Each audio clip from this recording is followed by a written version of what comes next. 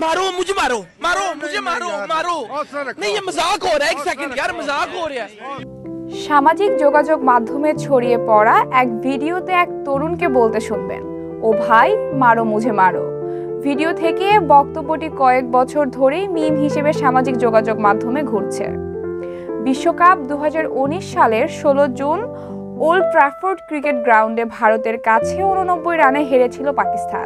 সেই ম্যাচ শেষে এক টিভি ক্যামেরায় প্রতিক্রিয়া জানিয়েছিলেন এক পাকিস্তানি সমর্থক। এরপর থেকে ভিডিওটি পাকিস্তান, ভারত, বাংলাদেশ সহ বিশ্বজুড়ে ছড়িয়ে পড়ে। ভিডিও থেকে ছবি ও বক্তব্য নিয়ে মিমের চরিত্র হিসেবে তুলে ধরা হয়েছে সেই তরুণকে। আলোচিত সেই তরুণের নাম মোমিন সাকিব।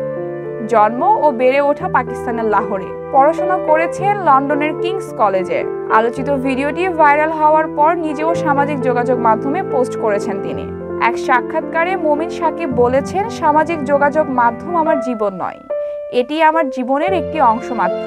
কিংস কলেজে পড়াশোনার সময় সামাজিক যোগাযোগ মাধ্যম ব্যবহার শুরু করেছিলাম। ভিডিওটি ছড়িয়ে পড়ার পর মুমিন সাকিবের কপাল খুলে গেছে। একের পর এক টিভি সিরিয়াল ও চলচ্চিত্রের ডাক পেয়েছেন তিনি। দু হাজার বিশ সালের হাম টিভির বি আদাব সিরিয়ালের মধ্যে দিয়ে অভিনয়ে অভিষেক ঘটেছে তার। এছাড়াও রাশকে বিসমিল, টিউবলাইট সহ আরও কয়েকটি সিরিয়ালে দেখা গেছে মমিনকে।